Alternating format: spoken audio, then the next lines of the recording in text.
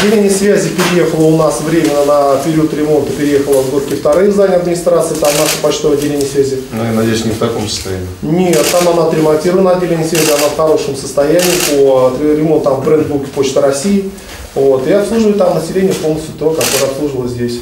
Временные неудобства жители поселка Усово тупик готовы потерпеть. Местное почтовое отделение находится в неудовлетворительном состоянии. Сырость, стены покрыты плесенью, крыльцо протекает. Ремонт отделения Почты России стартовал по всему Подмосковью по инициативе губернатора Андрея Воробьева. Мы договорились с госкомпанией, что на этот год у нас уже в плане стоит 14 отделений под ремонт, из них 6 делаем мы, потому что это помещение муниципальной собственности.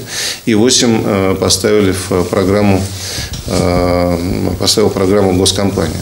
Здесь заменят окна и двери. Инженерные коммуникации проведут ремонт фасада. Уже идет внутренняя отделка. За 45 дней все ремонтные работы в этом почтовом отделении должны быть завершены. Жители встретят не только чистое и уютное помещение. Все отделения связи должны быть многофункциональными по стандарту офисов МФЦ с хорошей мебелью и оборудованием, рассказал Андрей Иванов.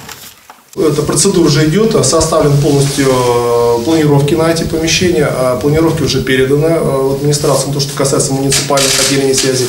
А также э, и уже согласованные по нашим объектам эти планировочные решения. Соответственно, в планировочных решениях уже идет полная раскомпоновка мебели, а торги сейчас идут, идет закупочная деятельность по поставке новой мебели. В том числе и на наши помещения. Да, совершенно верно.